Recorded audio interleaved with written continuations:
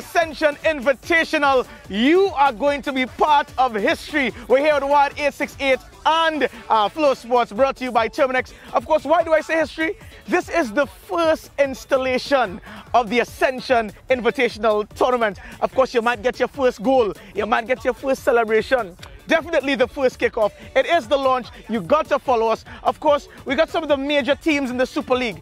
Can uh, FC Santa Rosa and Guaya United match up with the juggernauts of San Juan Diablotins in the Pro League and uh, Defense Force? We're going to see. Of course, this is the first domestic cup uh, of 2019 as well. So you got to follow us and get all the action right here on the Ascension Invitational with yours truly, Jazzy, in the mix.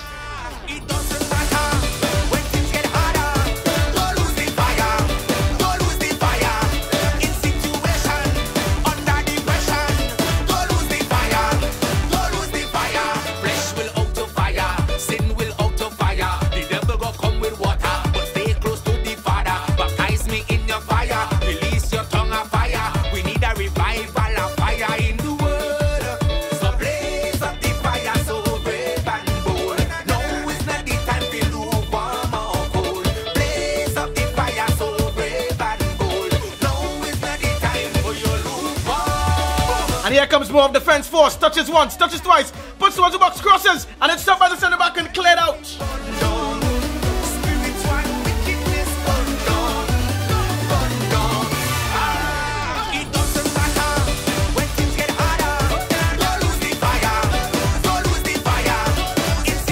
Beautiful diagonal pass here, and it's into space. This can spell danger. Number 13. Oh, he stops it.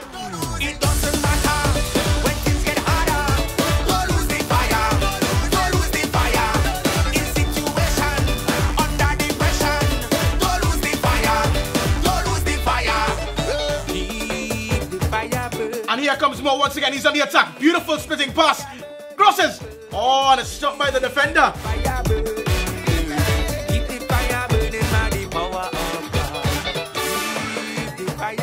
Interception by Peters. And here he goes. He's driving towards the box. Low driven shot and it's stopped.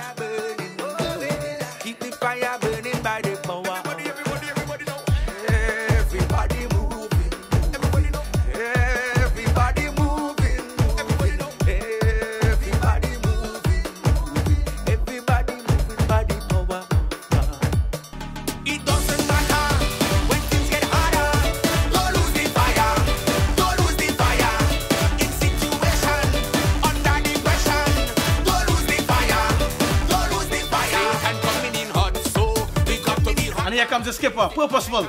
Off to Asia, Asia off to Felix. Felix, he drives it across. Oh, this could spell danger. And Jorsling, it's a goal.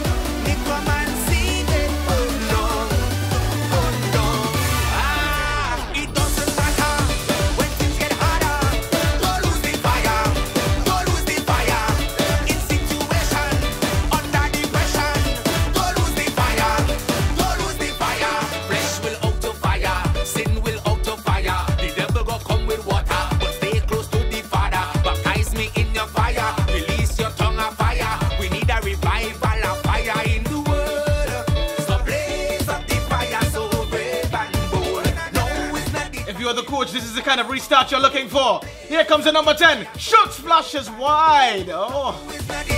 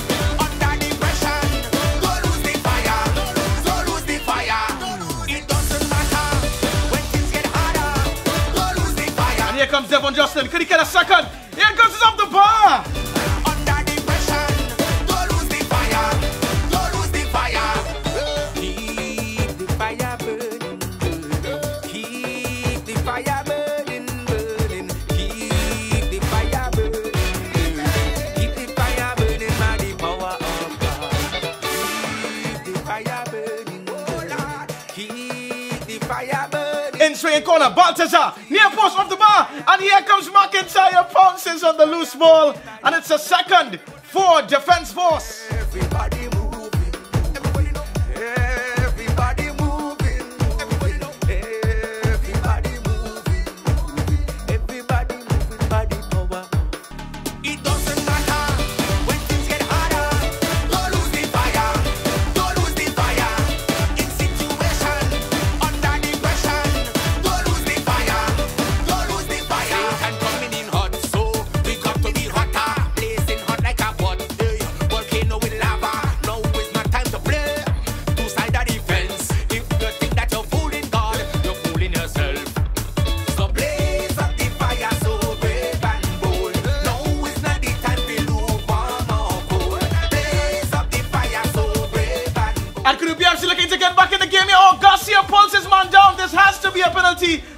Points a spot. Yellow card. Up steps Woodley to bring his head back into the game. And O'Neill with an amazing stop.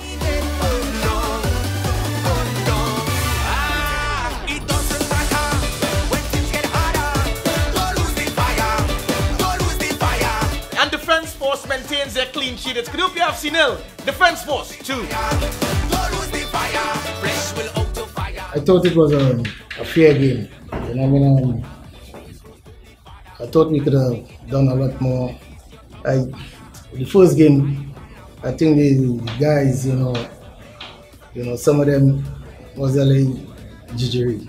You know, I mean, um, it was a while before we, we, we played any game, and um, I thought, you know, a lot of the combination play that that that we, we spoke about, you know, it didn't happen. You know, I think we, we made some, some silly mistakes, you know, and I, I think we could have done much more better than how, how we performed today. Well, Cunupia, Cunupia is a team that, that, that always play off um, Woodley. You know, I mean, I think he's a, to me, I think, you know, he's one of the better players we have in, in the country. You know, I mean, although he's playing with the Super League, you know, he could easily play with the national team, you know, I mean, and, um, I think the, the, more feed off him. And I think that is one of the strengths, you know. So so they probably try to execute their plan I think um, they dealt with it easy because you know I mean I told them because they, they had one or two late practice game against Cunupia in the early and and they always was a physical team. So I think you know sometimes you know they would react, but you know, I think they, they, they show a lot of patience, a lot of um, I would say cool head because you know we have a couple hot heads on the team you know, and they can react different. So you know kudos to them on the way how they they they um, keep their cool head while they was you know I mean being physically run over I should say. My target is simple, you know to win it all. Right, win it all. That is the reason why we're here. You know, we don't know when when when the, the pro league gonna start, so we taking this tournament this tournament very serious, right? And um, it's also to measure to measure how far you know I mean what progress we been been making, right? But I'm going to look forward when the pro league starts, so we taking every game at a serious while we play. Um, we did well in terms of physicality and, and conditioning and so on. Our decision making was lacking today and our finishing was lacking. Um, we missed seven clear-cut opportunities. I would say clear-cut, some people would say half chances. And one of them included a penalty, of which um, was the most obvious, of course. Um, had we put away 30% of our chances, we'd have won the game. If we were in the highest level of football, our first season probably the first half of the season, after we've played everybody, we would probably run through the league. Of course, we wouldn't win because we wouldn't win all our games. But in our second season, we would be a very strong force, I reckon. Because you would understand logically that um, we would need to be uh, familiar with how the Pro League teams play. And we have not been in that situation. This is our first, this is our first time. So if we had a first rounds of game with them, we would understand how they play, the level of conditioning, the tactics they use, and so on. And then we'd adjust accordingly. not playing a Pro League side in a competitive environment, we were very tentative about how we approached the game. And um, that is not going to happen again. Now we've assessed a team that has represented Trinidad and Tobago in CONCACAF and CFU and so on, which is a formidable opponent, and we've assessed that they have nothing on us but probably two lucky goals or finishes. Then we will be playing free-flowing football coming next game. Unfortunately, or fortunately, we have all the Pro League teams back to back to back to back to back. So they're, they're expected to see some adjustments. And I think for the purpose of entertainment, we'll play with a little more flair. So they will be entertained since this is a preseason tournament.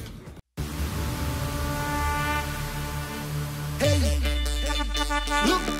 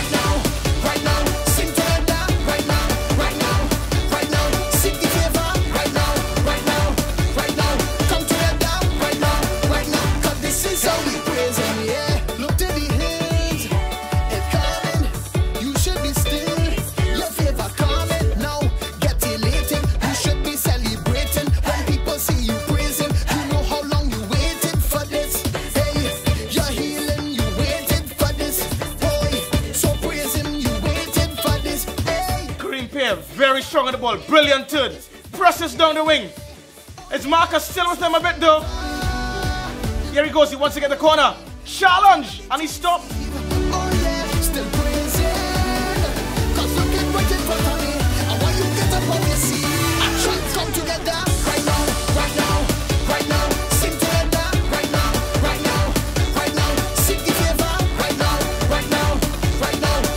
And here comes national goalkeeper Adrian Foncette. It's a poor and he gets the pass off.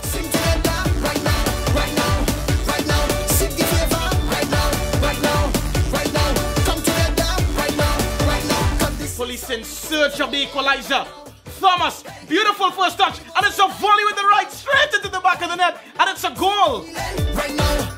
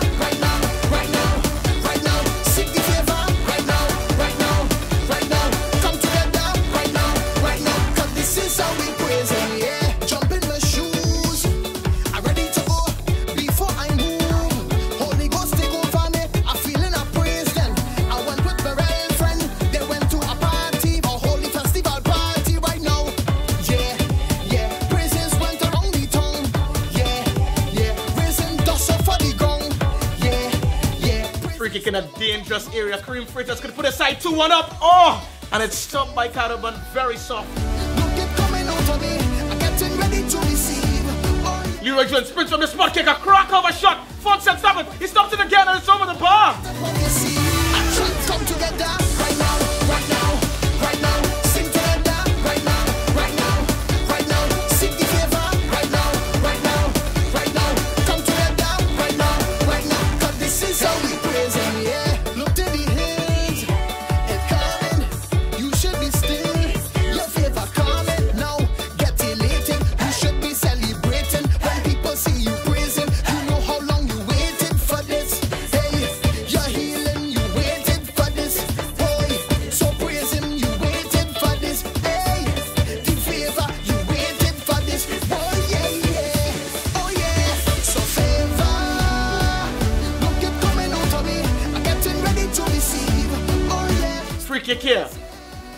Into space. Faria attacks it. He drives to the byline, moves to the cross, Foncette gets a hand. It's an open goal. Very easy for Romain. 2-1 to Guaya.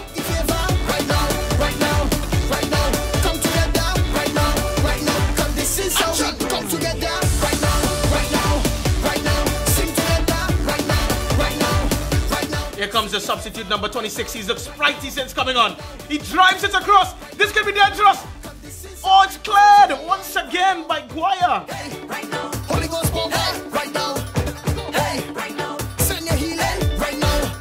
Let it go now. Send your favor right now.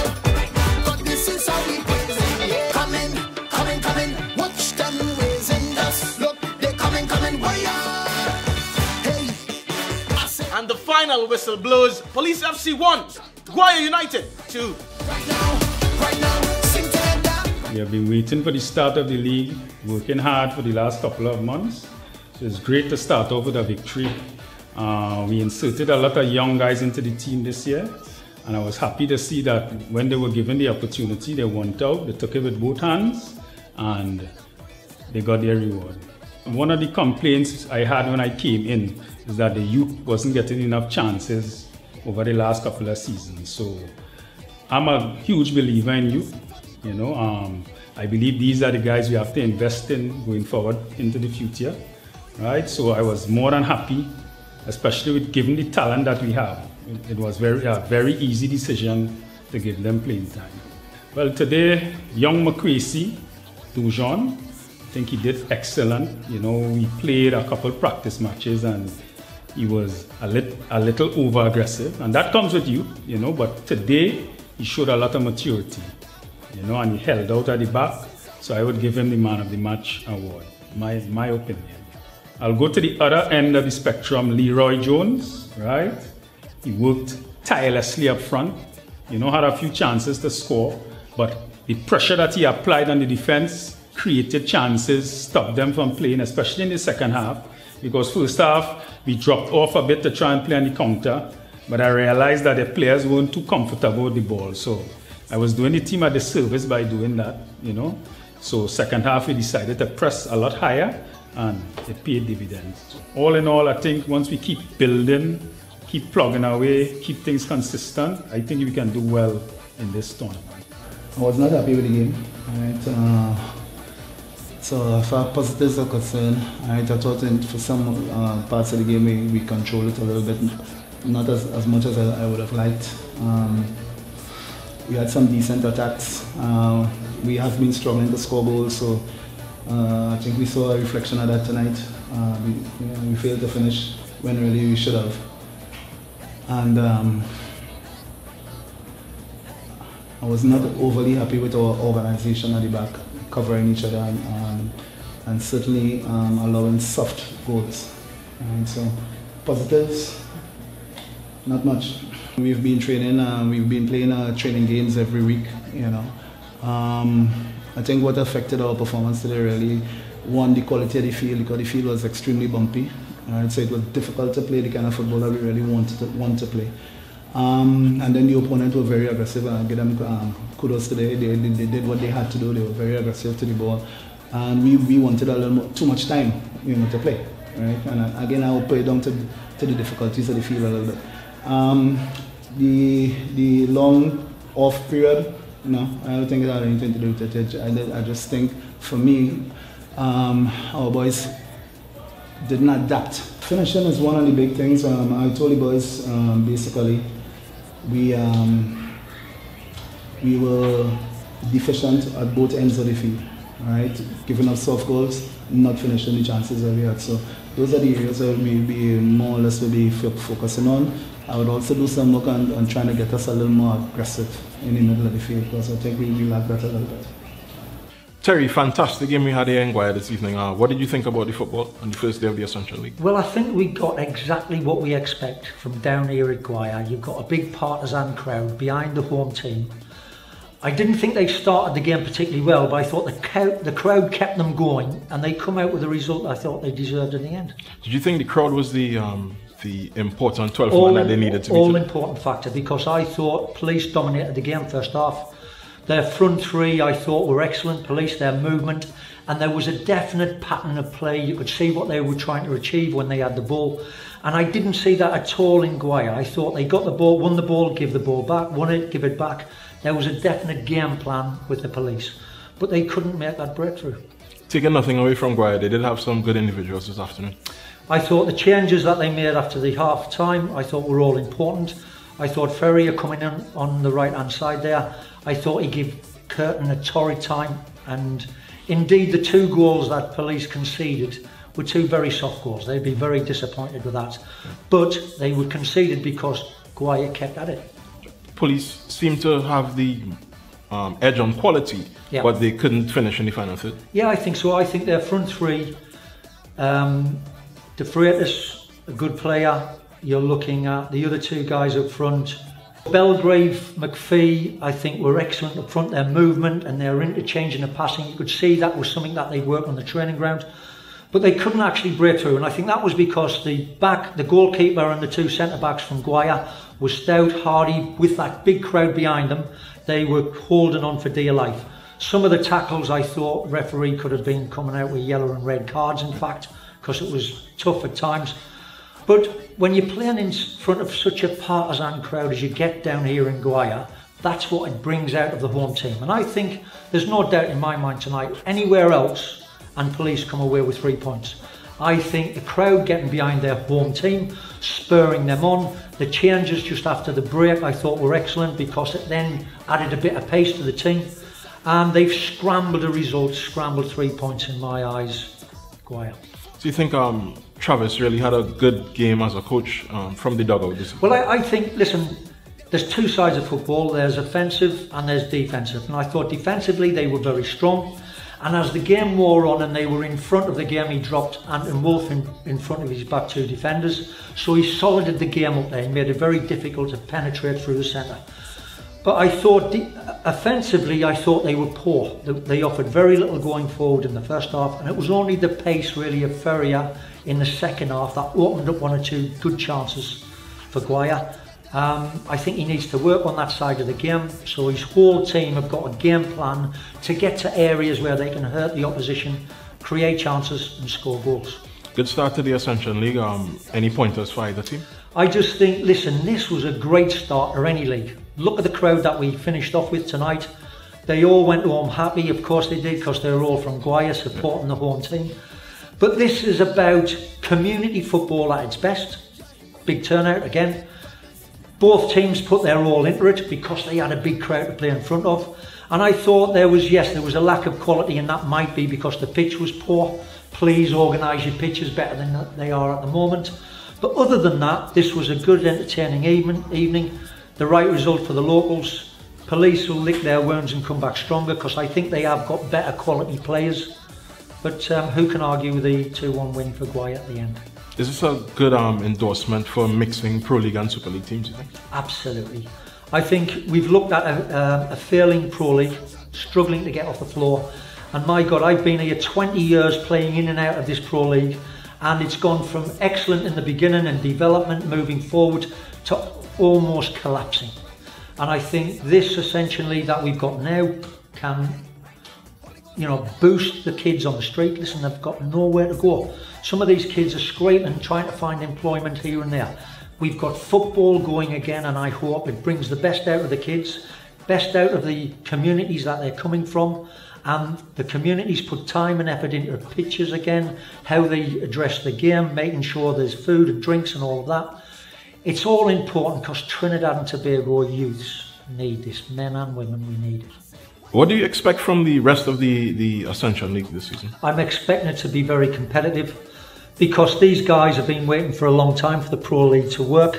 You've got the Super League underneath them that are much more active, they're ready to go. I think the merging of the two different leagues will be great because we then see the big difference in the players and the teams, the coaches, it's all important because inevitably the best players and the best coach come to the top of the pile at the end. And, you know, we've only got to look at football in Trinidad and Tobago at every national level is struggling at the moment. And that's not because we've got poor players, we've got excellent players, but they're not being found. They're not being dug out of these community football fields and games like we've seen tonight. So we need to get our heads down, have a look at the quality that we've got there, and then it's about bringing good coaches together to make these kids into a good, effective team that win games. At the end of the day, football is about winning, it's about success. That's what brings your sponsors, that's what brings money in, your TV rights.